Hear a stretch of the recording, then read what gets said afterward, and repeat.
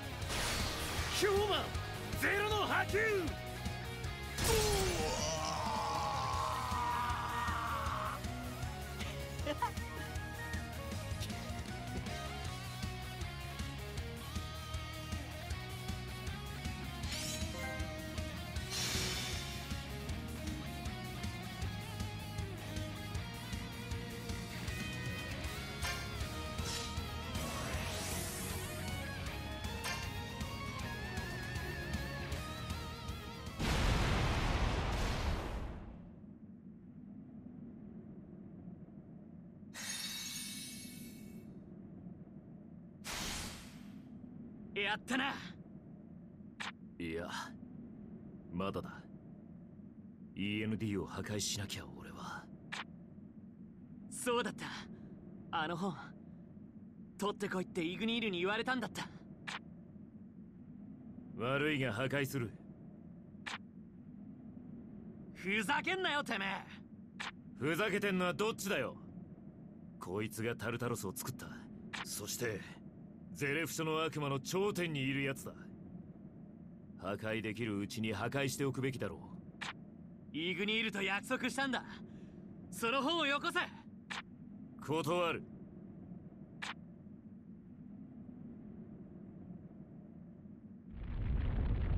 なんだ？まさかフェイズが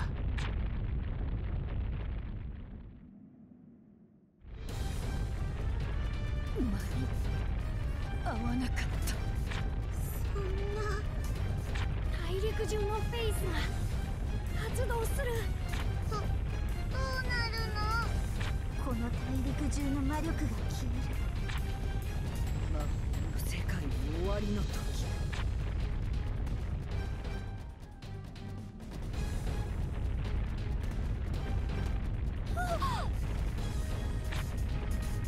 なんか力が抜けて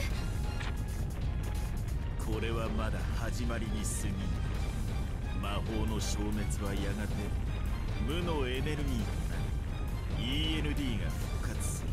最強のエーテリアスが復活する時人間どもには魔法という抗う術がなくなる。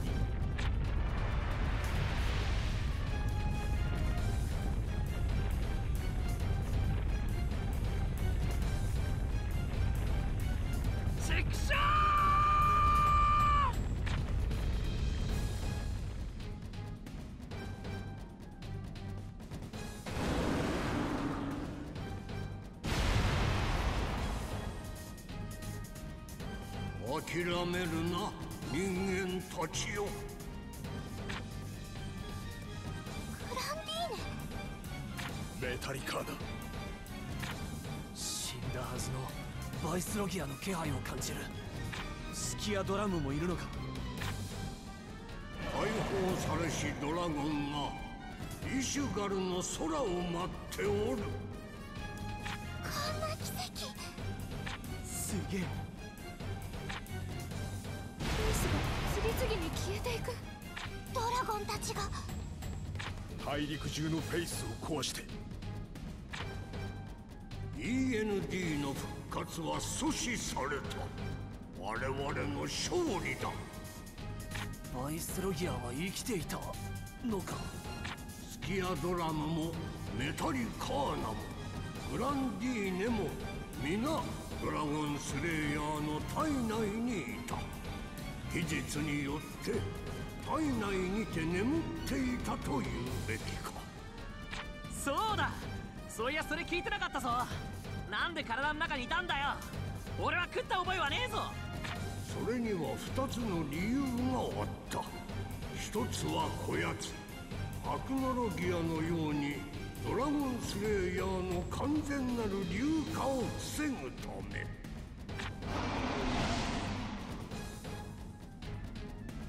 もう一つはこいつを片付けてからだ。本を手に入れろ。こいつのことだろ END の仕事。グレイ約束したんだ。必ず END を倒すと。消えた。この本は僕のものだ。返してもらうよ。大事な本なんだ僕は今日君と決着をつけるつもりでいたんだ。ああ。だがアクノロギアという邪魔が入った。彼がもう一度歴史を終わらせるのか奇跡が起こるのか。僕にはわからない。何言ってやがる。もしもこの絶望的な状況を生き残れたらその時は僕がさらなる絶望を与えよう。あの野郎本を持っていけやがった。ゼレフ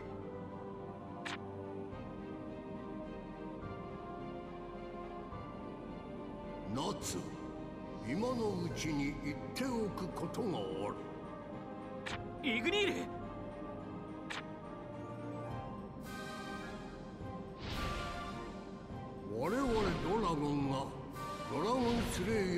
体内にいたのには二つの理由があった。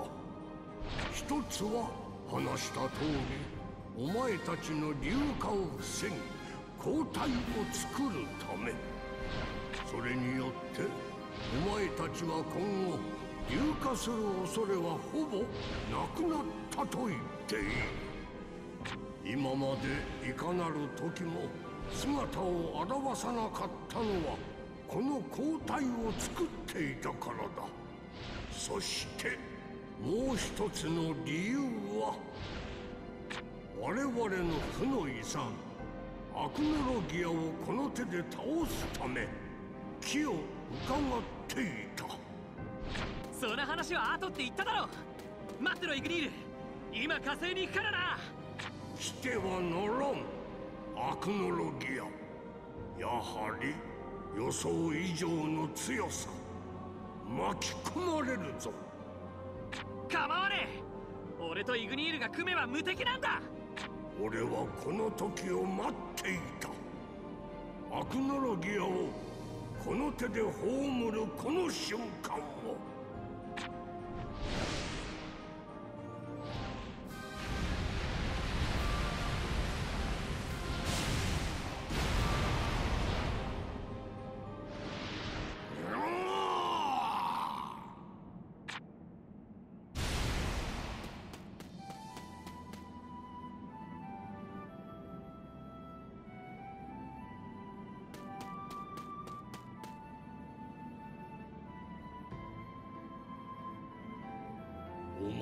過ごした日々が一番の幸せだった。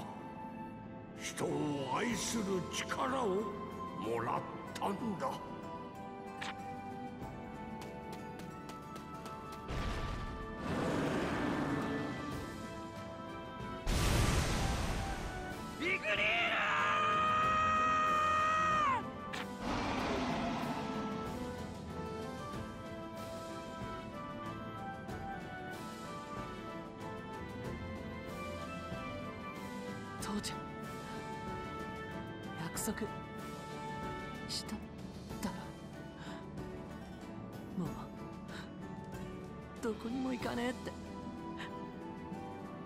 束破るなよ俺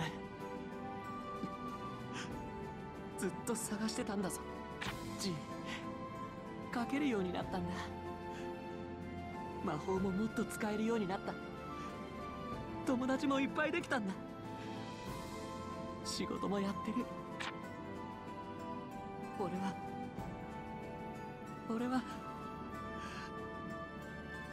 っと話がしたいよグリール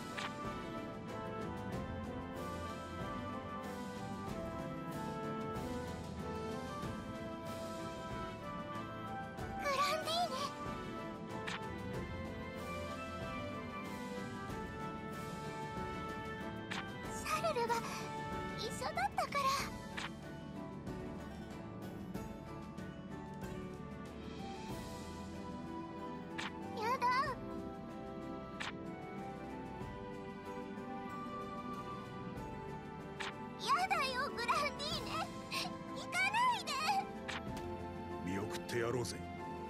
胸を張ってな。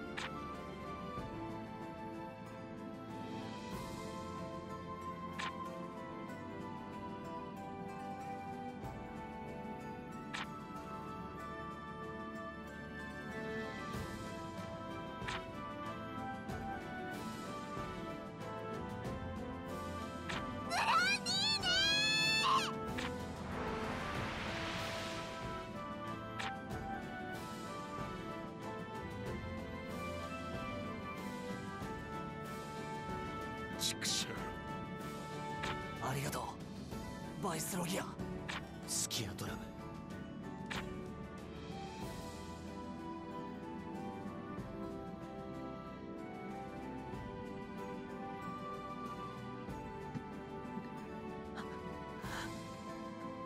イグニール泣くな夏ほら悲しい時はどうするんだ教えただろ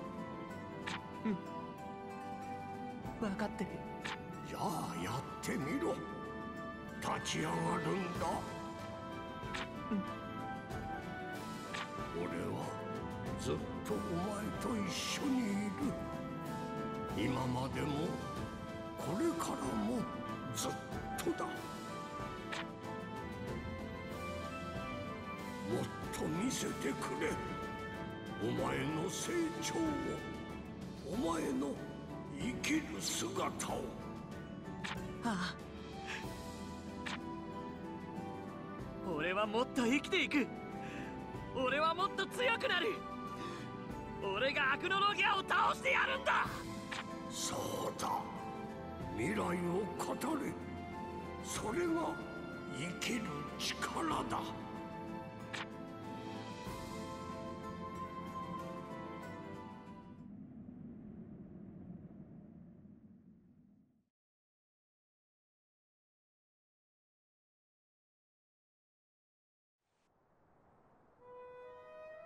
ハッピー貯金あといくらある？13万ジュエルだよ。うーん少ねえな。あい金庫盗まれなかったらいっぱいあったのに。お魚10年分くらい。まあなんとかなるか。はい。問題はこれだな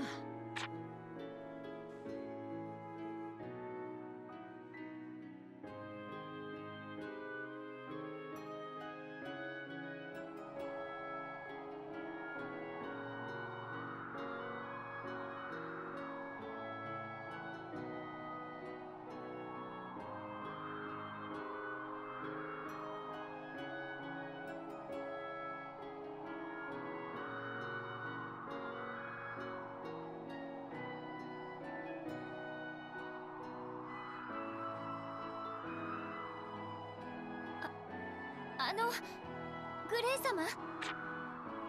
ジュビア？お前つけてきたのかよ。ごめんなさいごめんなさい。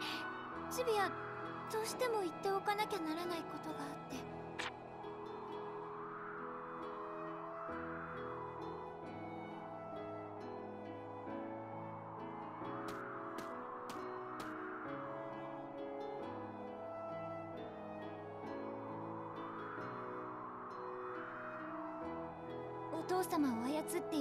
ロマンサーを倒してしまったのはジュビアなんです。お前が？ジュビアはもうグレイ様を愛してはダメなんだと思ったんです。ジュビアはお父様を殺したんです。お前が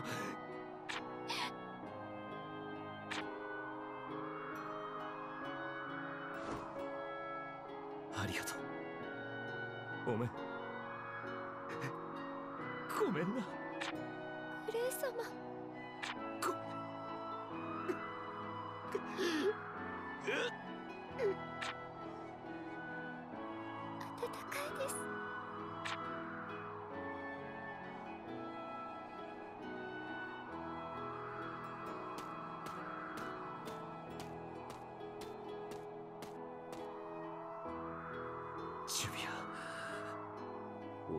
必ず。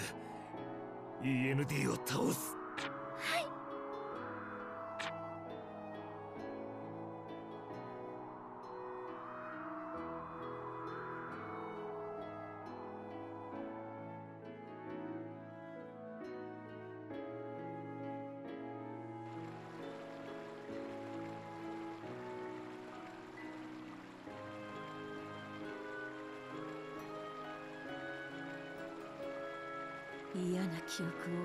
してしまった。今頃震えが裏切られ騙され集体を晒した。それでも私は人を信じていけるのだろうか。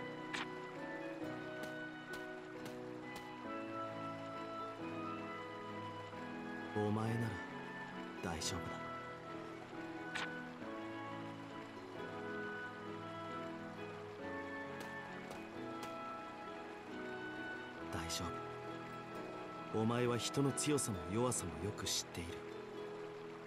前へ。光の道をただただ前へ。俺たちは闇の道を行く。ゼレフを倒すために。だがその道はいずれ交わることもあるかもしれない。その時は俺たちを消し去るくらいの輝きでいてほしい。進めエルサ。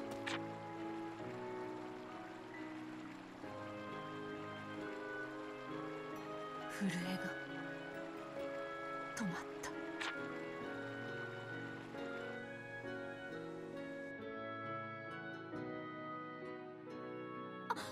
人の気配がする。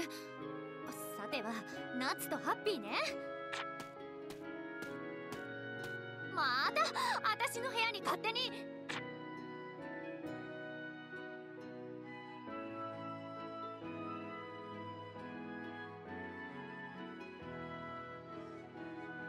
あれ？手紙？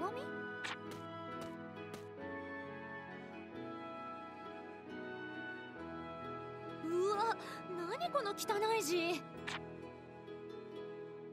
ハッピーと一緒に修行の旅に出る1年くらいしたら戻るから。みんなによろしく伝えといてくれ。じゃあなルーシー。ナッツハッピー。なな何よこれ。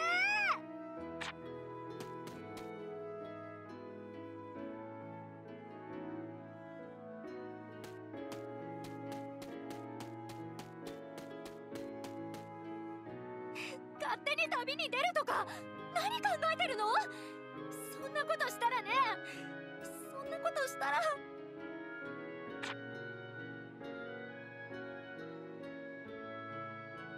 寂しいじゃない。バカ！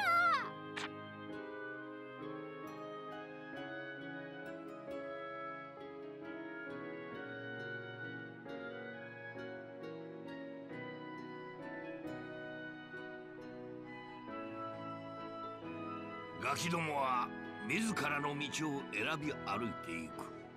これが一つの時代の終わりじゃ。フェアリーテイルを解散させる。羽ばたけガキども。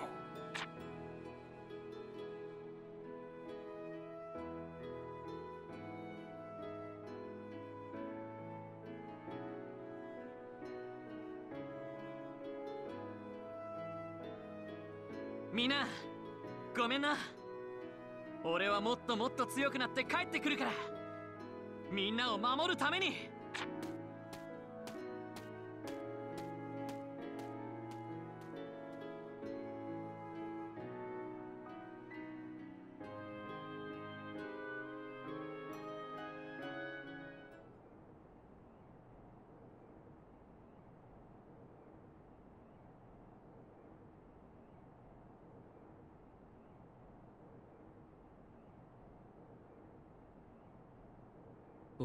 超えてみるんだ。夏。いやエーテリアス夏ドラグニル。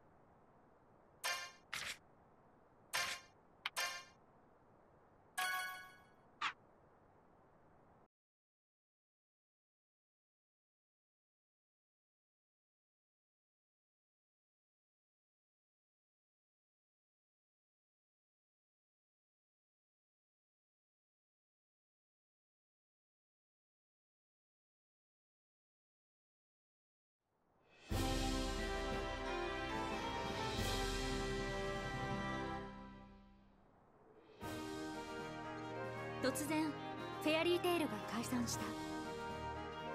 夏も勝手に修行の旅でどこかに行っちゃうし私はしばらく現実を受け止めることができなかった。あれから1年。ギルドの仲間はそれぞれの道を歩き始めている私も「週刊ソーサラー」の編集かっこ見習いとして働いている。でもフェアリーテイルを忘れることなんてできなかった。だから記者になったんだ。バラバラになったみんなの情報をできるだけ集めた。この1年ずっとみんなを探してた。もう一度集まるために。今日は大魔党演舞。当然フェアリーテールは参加してない。優勝者も八百長で決まりそうだった。でもそこで誰も予想できない番狂わせが起こる。新たな挑戦者の出現。その熱量は凄まじく。服だけじゃなく会場も溶けてしまいそうなほどで。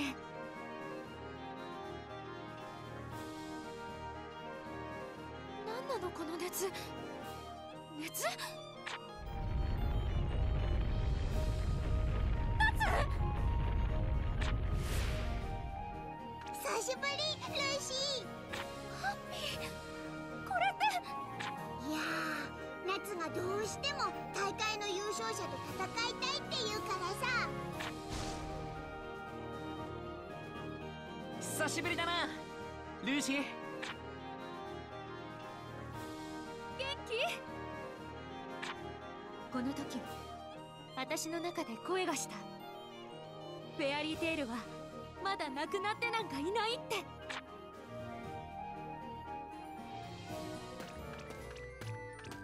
よく釈放されたわね。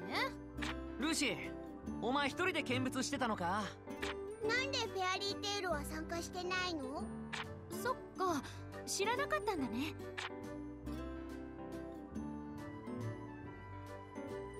フェアリーテールが解散？あなんでなんでなんでなんで？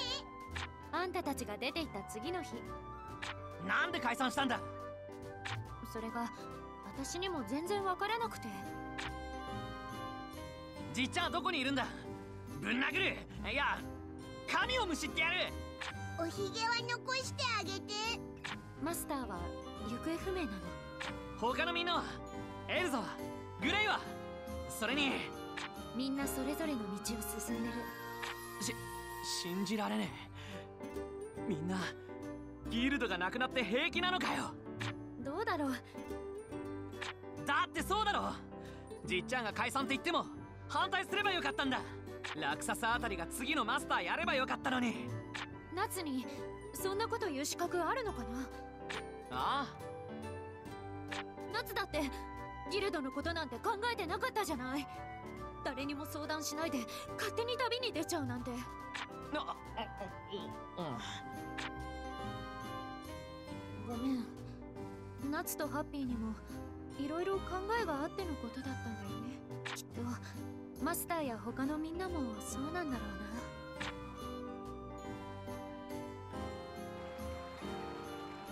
な。おおここがルーシーの家か。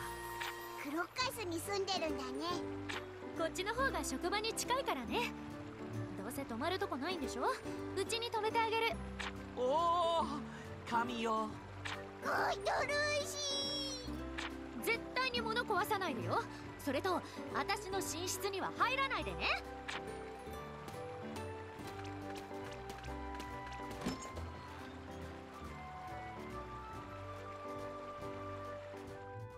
ハッピーギルドなくなっちまったのか？信じられないね。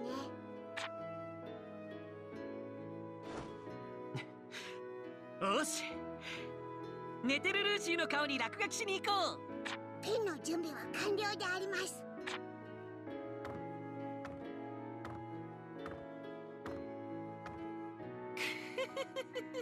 寝てる寝てる。夏起こさないようにね なんだこれ？みんなの居場所すごく細かくメモしてあるよ。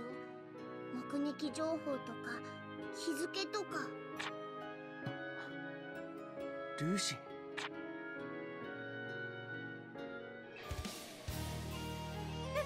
何これ？なんで朝っぱらから私ん家の前に軍隊がいるのよ？もう嗅ぎつけてきたのか仕業い